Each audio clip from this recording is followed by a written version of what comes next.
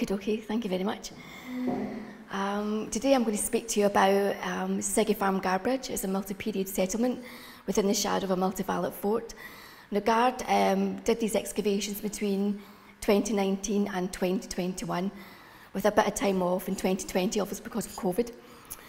So because the excavations have just finished, we don't have any specialist reports or radiocarbon results to give you, but we can put the site into sort of broad categories and it's essentially prehistoric going from the Mesolithic, Neolithic, Bronze Age into the Iron Age and we do actually have some medieval remains as well.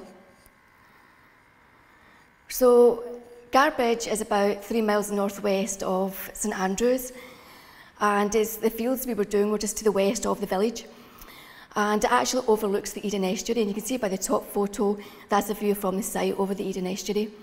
The picture at the bottom is actually from Canmore website and it actually shows, shows the multivallate remains of a hill fort and it's actually four ditches and you can see the outer one just stops. Now that was actually in one of the fields in the northeast corner. So in 2017 we did an evaluation there and obviously we targeted the both fields were part of the development. There was a smaller north field and there was a larger southern field and it was in the southern field in the northeast corner where the fort was. Now the actual topography of the area is quite, um, it slopes from the fort in the northeast, it slopes very gently downwards with a really steep slope towards the east where the water is.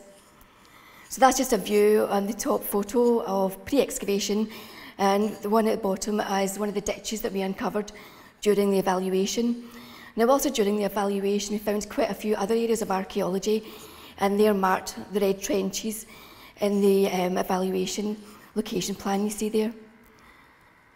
So in 2019 we went back to actually do the excavation and to open up the areas of archaeology and basically it just got bigger and bigger and bigger and you can see by the survey plan there all the archaeology that we actually found. Now up in the northeast corner you can see the fort and most of that was actually preserved in situ and we only really had a wee bit of it at the side and that was actually just the ditches. But what you can see is in the middle of the site there's a massive band northwest, northwest to southeast and that's kind of where the main bulk of the archaeology was and it was mainly, oh we had lots of pits, lots and lots of pits and we had 19 enclosures, we had stone features, we had timber post features. We had really, to be honest with you, just about everything, I think. But also on this map, just to point something out, is also in the central area. You can see a wee bit that's been marked in grey. And when we were stripping, the, the overburden deposits were very, very deep. They could be about a metre that we had to take off to actually get to the subsoil and the archaeology. But in that middle area, it was particularly deep. And there was lots of silts and sort of peaty deposits at the base. And we think that's maybe been like, we were calling it the pond. We think it's obviously been really, really quite a wet area. And you can see that the settlement has actually respected it. It's actually obviously been wet for a long, long time. So it's not the best survey um, drawing that I'm showing you, but what you can see is the kind of the green and yellow are all the pits. The ones that are in red are the curvilinear enclosures. And, um, and the brown you probably don't see are actually um, the stone features, and you can obviously see the remains of the fort ditches at the top. Now, when we were actually doing the work, we did also have the other top fields, which we kind of dismissed quite quickly. It was mainly kind of modern field drains in them, and it, our main focus was basically on the large field. So I'm going to talk about pits first, mainly because there was, quite frankly, hundreds of them. And they're very, very common in prehistoric sites, and they're often the only evidence of activity. But ours ranged from Neolithic, Bronze Age and into the Iron Age. We've got finds from all periods in them, and we got them in groups. We had about 13 groups of pits that ranged from 8 to 13, 14 pits of all sizes. We got some linear alignments, and the photo at the top on the right, that's one of the linear alignments. And that actually had two pits that were lined with stones and one of them had kind of rough capping stones on top. And when we actually exited both of them, there was no finds in them. One had um, some pottery, sorry, some bits of very degraded bone. So we're actually wondering if maybe they are actually um, kists. Uh, but we do know there, uh, there was burials probably in the vicinity because in one of the other pits we found uh, the remains of a Bronze Age beaker vessel. So in the bottom, the, the picture at the bottom there, you can see a wee pit with a stone in it. And again, that was under another pit alignment actually found in the southwest of the site, and that had cut mark stones on it. And interestingly, when we first began to dig it, you couldn't actually see the cut mark stones until the sun was at a certain angle and you got the shadow on it. That's why there's shadow in the photo, we couldn't actually get rid of it. So again, this is another photo of more pits, and you can see some of the enclosures a bit more close up. And the one at the bottom there, you can see a wee group of pits, and in that pit, the group pit, ugh, the pit, the group of pits, we found um, spindle whorls, pottery, and also stone tools. And again, you can see one of the enclosures in the background. So this is just an example of some of the finds that we actually had on site. Um, those two pits at the top, the one that's been fully excavated actually contained a polished stone axe, and that's the one at the bottom there. And it was right at the base of it, so we're obviously thinking, is this some sort of special deposition? A lot of times with pits, they can be quite difficult to interpret, and people often look upon them as being um, rubbish pits, and I'm more than sure they are, but they can also be places of deposition for special objects. And uh, some of the other photos, some really lovely pottery at the bottom, which I haven't seen before, the kind of scratch marks on it. And that's a uh, spindle whorl at the top. So a wee quick word about the enclosures. There was about 19 on site, and I'm calling them enclosures, but there were some roundhouses, and I'm sure they had quite a lot of different functions. The photo on his left is, is just some of the team actually digging one of the enclosures, internal area. Another one on the right, you can just see it's a sort of aerial photo of some enclosures interspersed with pit groups. And this is all in the sort of middle band of the site. So one of the largest was a palisade enclosure, and it was about 29 metres in length.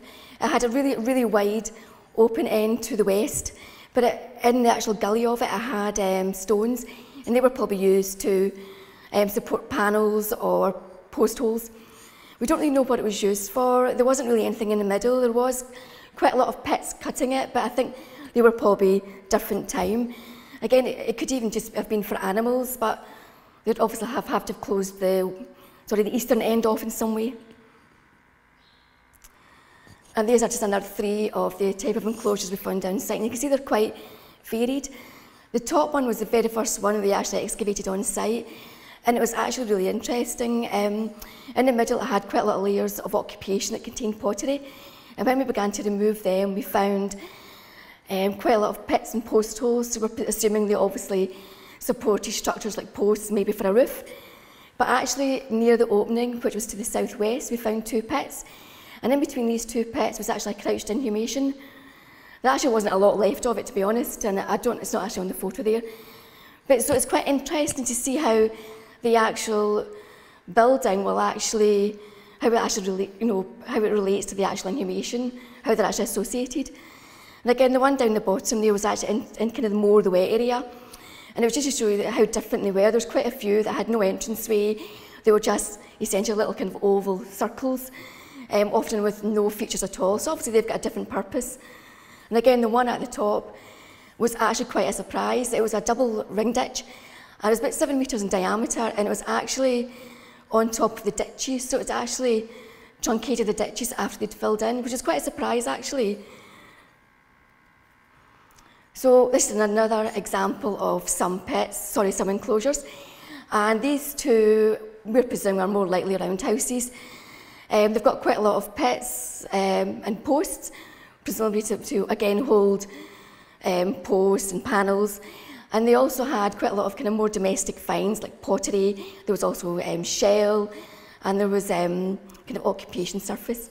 But on this sort of part of the survey, you can see there, if you see on the left, there's also kind of really quite long um, linear features, and they're actually field boundaries. And in some ways, I think that's really quite interesting, how these field boundaries actually relate to the rest of the settlement. And I actually think that's quite, quite interesting. So down the southwest of the site, it was actually really quite different compared to the rest, because most of the features there were post holes. And this is a really big timber post enclosure. It measured about oh, 27 by 24 metres. And the entranceway was around about the southwest, sorry, southeast. I've got a problem with west and east, and north and south as well, to be honest. And um, going by the photo, you'd think there was a lot of, um, there's quite a lot of posters in the central area, but there actually wasn't really. There was other features, like there was another roundhouse, another um, rectangle enclosure that actually cut, you know, this big timber enclosure. Unfortunately, there wasn't any fines, but it was absolutely fantastic. It was really wonderful to dig. And this one was nearby, and you can see by the survey result, you can see the big timber enclosure in the purple. And if you see up to the northeast, there's a, well, we weren't actually a Neolithic timber hall. Um, it was 24 by 10 metres in size, and it had the rounded ends like most Neolithic timber halls have. Unfortunately, there was no evidence of dating at all, and that was that was one of the things, the hallmark of that area down the bottom in the southwest. There wasn't really any any finds actually. Most were in the elsewhere on site. Um, but that's again, it'll be quite interesting. Hopefully, when post excavation starts, hopefully we'll actually get some material that we can actually radiocarbon date. The bottom there is, to the right, is another wee roundhouse that we found in that area too. So we also had stone structures on site, and most of them were actually in the overburden, which is, could be 600 to a metre in depth. Um, but this one wasn't, it was actually cut into the natural. And actually presented as a sort of curved, like a crescent-shaped um, dark area in the ground you can see from the top. And in the north, there was actually a curved line of stones. So when we actually excavated it, and that's just two, so Eddie and Eva in there excavating. Oh, sorry, I've got it on the left. I changed my photos last night, you see, so I thought it was another slide. You can see there's actually a revetment wall. It survives better on, the, on one of the sides. But actually, it tended to level out the feature as it kind of went more to the south, and that was actually the slope of the ground. But underneath was a lot of pits, and we actually found um, fragments of metalworking waste like crucible, and we also found fragments of shale bracelet as well. So we're thinking that that structure is not any later than the Iron Age. So we also had stone structures on site, but most of these were in the overburden. And when we were actually opening up the site and stripping, any time we ever came across stone, we always stopped because there wasn't any, there wasn't any stones in the natural. It was very sandy. So we're presuming that a lot of the stone was brought into the site. So you can see it's, it's very, it survives really to the northeast and the southwest. The other two sides are missing and we don't have the entrance either. But it's basically, it's got really broad walls, about one and a half metres thick. And in the central area, there was quite a lot of occupation deposits and we also think a cobble surface as well. And again, we found quite a lot of pottery in the middle of it. It measures about 17 metres and internally it's about 6 metres. Um, again, it's obviously been kind of played about with quite a bit. There's other walls and we've got post holes in the middle and you can see that it's obviously been, um, there's obviously different phases of building there. So we also had six kilns on site as well. Two of them were lime kilns, the one wasn't excavated because it was out with the development area. Um, the other one, um, you can see it been excavated there. It was actually quite high up in the overburden, but I've put a picture on the right to show you it fully excavated. And if you see that little metal thing on the kind of left side, that's actually a metal bucket, which is like in the 19th, 20th century, so it's really quite modern. We also had um, another two kilns on site. One was a corn drying kiln. It was absolutely full of burnt seeds. And in the bottom, there's another kiln. And again, it had a middle bowl and it had like double, a, a flue at either end. Um, both of these actually had medieval pottery in them, so we're presuming they're from the medieval period. And this is the last two of the kilns were actually sitting above the four ditches, obviously when the ditches had obviously filled in. And if you see the top photo, you can see the overburden. That's actually what they were in. Now, the lower one didn't really survive very well. It was mainly kind of remnants of the flue. And at the end, you had the, the bowl, it's really, really bright orange burnt sand. But this is actually the upper one. And again, we think it's the flue, sorry, the bowl's in the middle with a flue at either end. Again, we didn't really get anything to date these like, like pottery. There was quite a bit of bone kicking around the area as we were excavating. But hopefully once uh, post-excavation starts, there was actually charcoal and burnt material actually in the flue, so hopefully we'll be able to use them. But the way drawn the wee survey results at the top, you can see it sitting on top of the ditches. So the last thing is the ditches. So that's one of them uh, pre-excavation, and you can see the four of them on the survey results at the top. And what you can see is that the outer one, now the aerial photograph did um, actually stop, and you can actually see that when actually began to excavate it, it did actually terminate there. So that's them all, the four ditches excavated, and we had to excavate 50% of them. And unfortunately, despite all that digging, there was virtually no finds. The outer one had maybe four or five bits of pottery um, and, the, and in the upper levels of its fill. In the others, there wasn't really anything. They were really quite sterile. We had the odd bit of flint and the odd bit of really degraded tiny bit of bone, but that was it.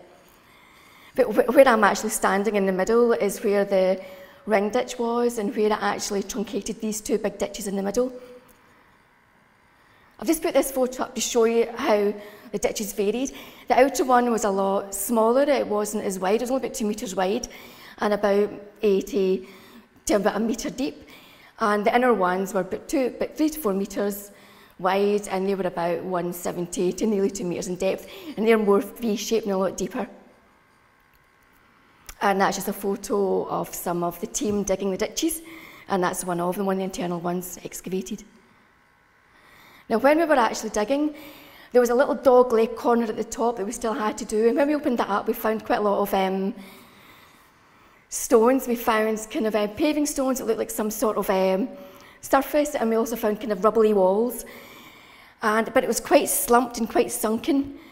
So when we began to remove the stones that you can see in the top, there we found another ditch. So there's actually five ditches in this fort, and that's at the bottom. Um, there's a section through it. So that's a photo of the five ditches from fort, but we never actually dug anything at all of the fort internally. It was only the ditches.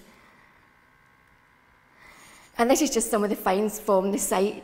Um, most of them are from pits, actually. So we've had some loom weights and possible fishing weights. We had quite a few fragments of saddle quern. That one there was actually reused in one of the overburdened rubbly walls.